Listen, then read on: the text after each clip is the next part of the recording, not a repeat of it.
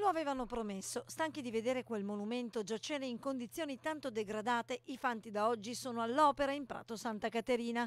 Obiettivo, riportare all'antico splendore l'area dedicata ai ragazzi del 99. Ogni promessa è un debito, ma soprattutto un impegno civile, concreto e quindi tutte queste persone, questi fanti sono a lavoro, sono all'opera in un luogo che ricordiamo ci ricorda i ragazzi del 99 e credo che ancora oggi il loro significato e la testimonianza sia un dovere per noi.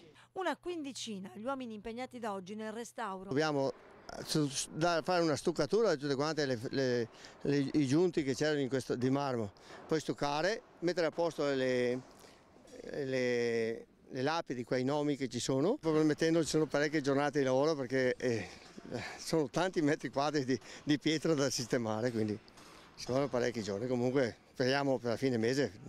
Monumento alle cure dei fanti ricorda i tanti giovani e giovanissimi che nemmeno diciottenni furono spediti al fronte nel primo conflitto mondiale.